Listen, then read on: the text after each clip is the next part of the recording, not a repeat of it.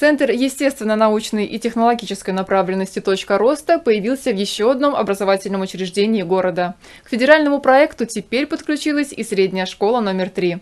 Открытие обновленных лабораторий прошло 10 сентября.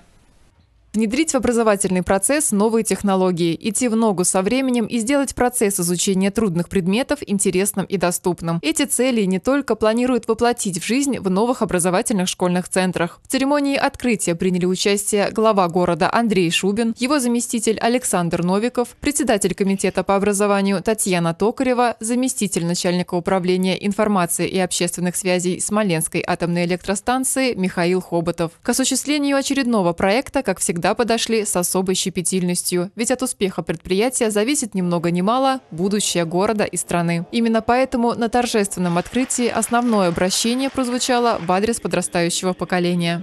Ну и вам, э, ребят, я хочу пожелать, чтобы э, вы то, что сегодня там увидите, это дело берегли, хранили, бережно к этому относились, получали новые знания, навыки, умения и шли вперед к достижению своих целей. После церемонии открытия для гостей школы была организована экскурсия по лабораториям, в которых уже прошли первые мастер-классы для учеников. В кабинеты будущего переоформлено три класса – кабинеты химии, физики и биологии. В усовершенствованных лабораториях будут проходить не только базовые уроки, но и занятия по дополнительным программам и внеурочной деятельности. В ближайшее время кабинеты укомплектуют самым современным оборудованием и образовательными наборами по программированию, конструированию и робототехнике.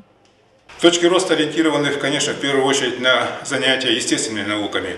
Это физика, химия, биология. Эти именно предметы нужны для будущих работников атомной отрасли, в том числе Смоленской атомной станции.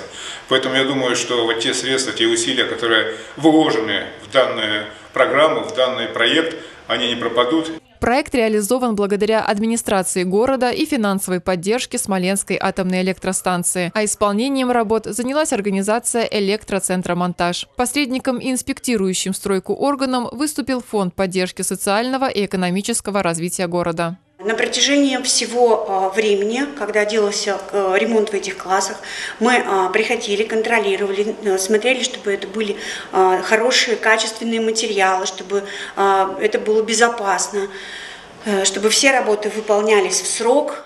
Ученики всех возрастов с энтузиазмом и большим интересом восприняли появление высокотехнологичных кабинетов в их школе. И несмотря на то, что современные классы только начали свою работу, возлагают большие надежды на будущие занятия. Ксения Ложкова, Юлия Соболева, Александр Ерофеев, Десна ТВ.